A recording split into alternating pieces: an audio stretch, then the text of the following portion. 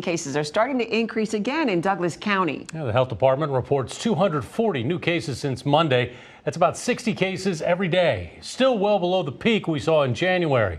Doctors are cautiously optimistic we'll avoid another surge in hospital cases. KETV News Watch 7's Joey Safchik is live checking in with local health experts. Joey. Rob, Julie, cases are about double what they were a month ago, and that's probably a low ball because people are testing at home and then not reporting those positive results.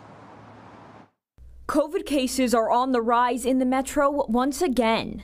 The BA2 subvariant has very clearly staked its claim. Uh, the trend is in the wrong direction. But it's not all bad news. We're not seeing an upswing in hospitalizations. In fact, hospitalizations are down 35% in the last month, according to Douglas County Health.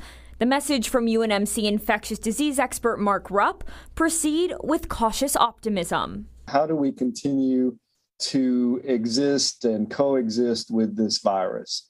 Um, it's not going to go away.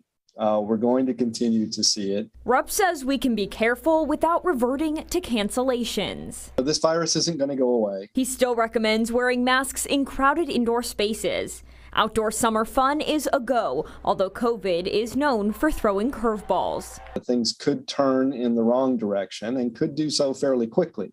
If you feel sick, Justin Frederick with Douglas County Health says taking a COVID test is a test of personal responsibility. I do have a stockpile of those at home tests in case those uh, situations arise, and I can test myself to make sure that I'm not exposing other people. But the upswing in cases is mirrored by an upswing of a more pleasant nature. We're still seeing people get vaccinated and, and people with the boosters. Uh, we've seen a, an uptick in the number of uh, doses that we've been administering.